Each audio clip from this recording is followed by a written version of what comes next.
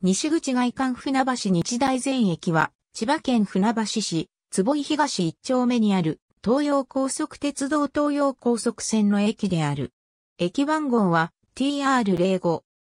関東の駅100線に選定されている。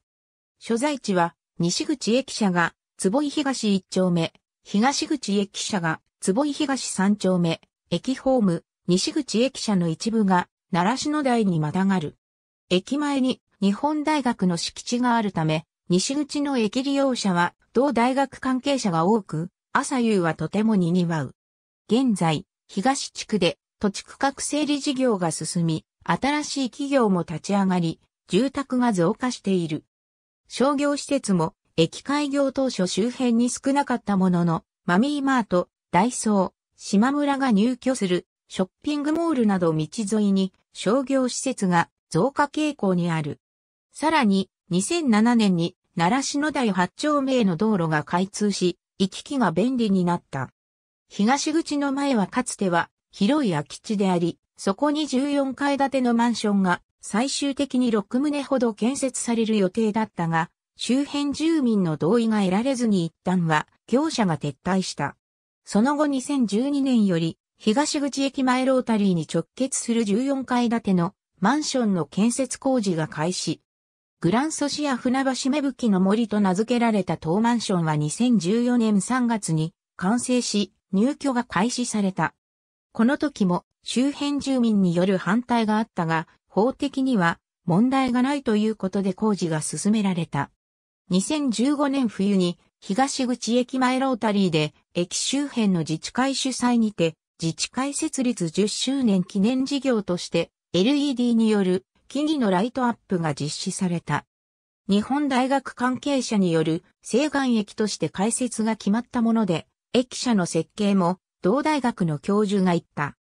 計画当初は坪井駅という仮称が付けられていたが、日本大学理工学部、薬学部の最寄り駅ということから、現在の駅名で開業した。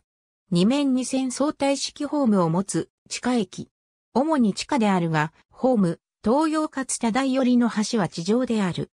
改札では、東口は2004年の開業当初より2枚、投入対応の、いわゆる新式の改札が導入されていた。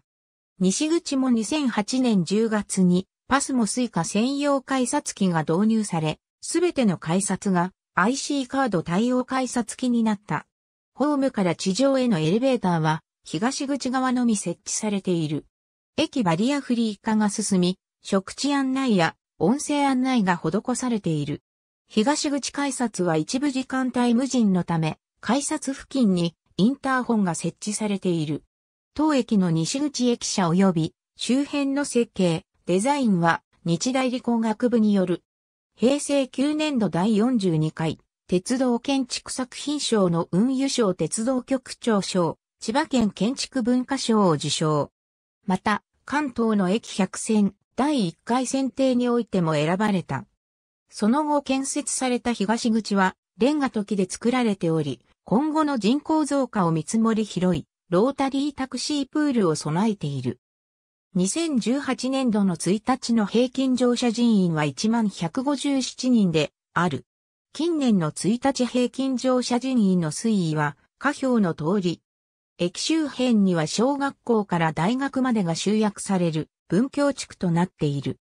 駅東側には千葉県道57号千葉鎌ヶ谷松戸線が走り、約500メートルほど進んだ先には八千代市との境界がある。船橋東警察署船橋市総合単育館、日本大学奈良市の高等学校千葉日本大学大、一中学校、高等学校渡り駅東口にはバス発着対応のスペースはあるが、現在路線バスの発着はない。駅東口より、船橋アンデルセン公園へのバスが2007年10月2日から11月4日まで走行していた。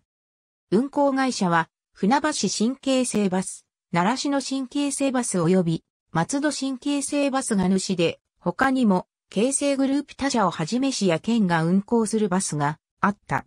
なお、2012年10月1日より平和交通の運行する東京発の深夜急行バスが運行する。ありがとうございます。